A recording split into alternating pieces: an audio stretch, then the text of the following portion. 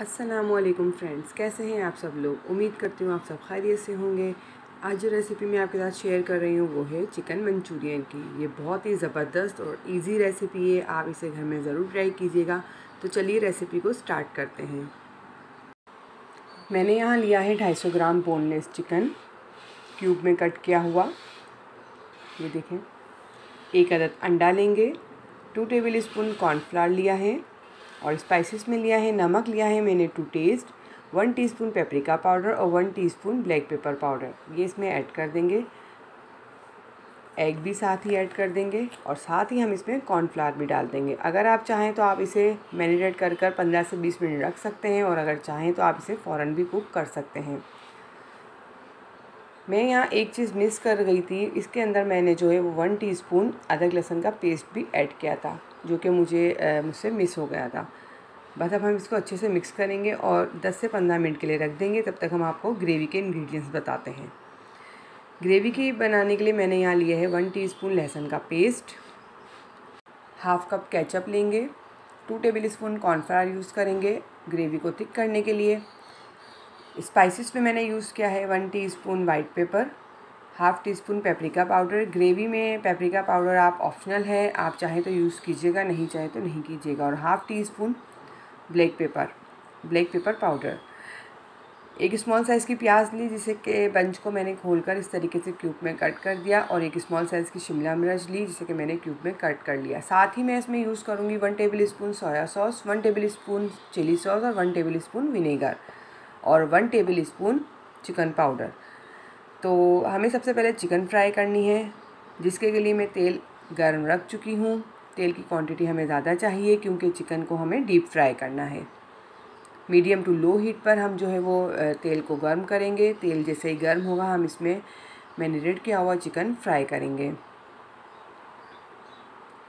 तेल गर्म हो चुका है ये देखिए।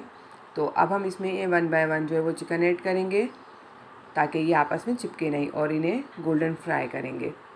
बहुत ज़्यादा हमें इसे डार्क कलर नहीं देना है। ये देखिए, इतना खूबसूरत सा कलर देना है।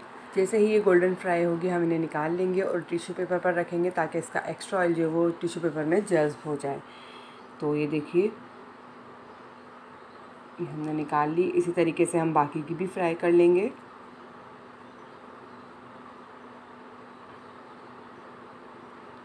ये भी अच्छे से फ्राई हो गई है। बहुत अच्छा सा कलर आ गया है तो अब हम इसे बाहर निकालेंगे।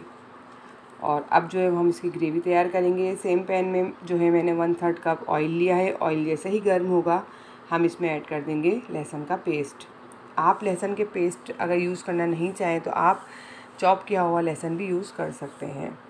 इसे अच्छा सा फ्राई करेंगे। जैसे ही खुशबू आने लगेगी, हम इसमें ऐड कर देंगे शिमला मिर्च और प्याज। फ्रेंड्स, आप इस रेसिपी को घर में ज़रूर ट्राई कीजिएगा। ये बहुत ही मज़ेदार सी रेसिपी तैयार होती है बनकर और बहुत ही इजी रेसिपी है। इसको एक से दो मिनट के लिए हम अच्छे से कुक करेंगे और साथ ही हम इसमें ऐड कर देंगे स्पाइसिस साथ हम अब इसमें ऐड करेंगे one tablespoon soya sauce one tablespoon chilli sauce और वन टेबल स्पून विनेगर और अच्छे से इसे मिक्स करेंगे और एक साथ कुक करेंगे। अब मैं यहाँ यूज़ कर रही हूँ one tablespoon chicken powder आप चाहें तो आप चिकन क्यूब भी यूज़ कर सकते हैं और चाहें तो स्किप भी कर सकते हैं। अब हम इसमें केचप ऐड करेंगे और इसे अच्छे से मिक्स करेंगे। मिक्स करने के बाद अब मैं इसमें ऐड कर दूँगी एक कप पानी और इसे हल्का बॉयल आने तक कुक करूँगी। जब तक ये बॉयल आएगा, हम जो है, हमने जो कॉर्नफ्लावर लिया था टू टेबल स्पून हम उसमें ऐड कर देंगे वन फोर्थ कप वाटर और उसे अच्छे से मिक्स करके एक पेस्ट बना लेंगे। और अब हम इसे आहिस्ता आहिस्ता जो है वो अपनी ग्रेवी में ऐड करेंगे और हमें जितनी थिक ग्रेवी चाहिए, हम उतने ही हम इसमें कॉर्नफ्लावर ऐड करेंगे। ये देखिए, हमें इतनी थिक ग्रेवी चाहिए तो हमने थोड़ा कम ऐड किया है। तो अगर आप ज़्यादा ग्रेवी बनाना चाहते हैं तो आप ज़्यादा ऐड कीजिएगा। मैंने इसमें से कॉर्नफ्लावर बचा लिया है।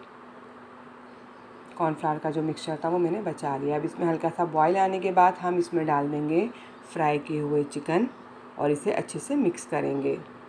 देखा ये आप कितनी जल्दी रेसिपी ये तैयार होती है। तो अब जो है मैं इसे लिड लगाकर तकरीबन दो से तीन मिनट के लिए कुक करूँगी।